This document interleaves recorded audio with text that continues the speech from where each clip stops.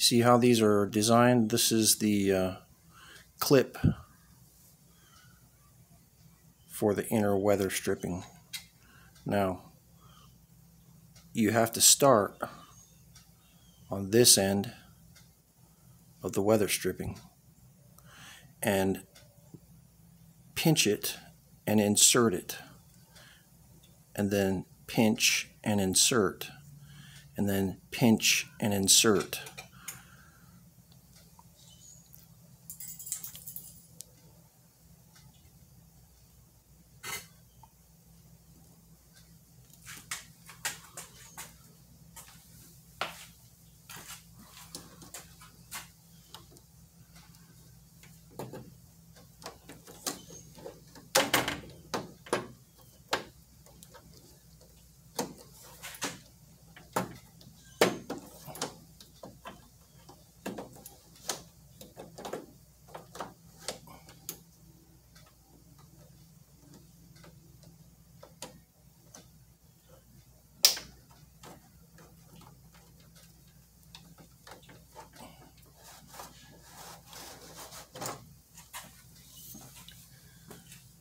I'm telling you, I've fought with these things for years.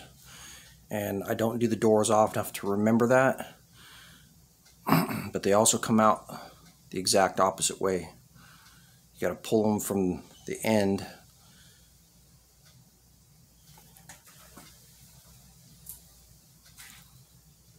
You got to pull them from the end. This is the end, you pull it out. Same thing, pull it out, pull it out, pull it out. Once this window rubber's in, then you can install the glass and then the upper trim.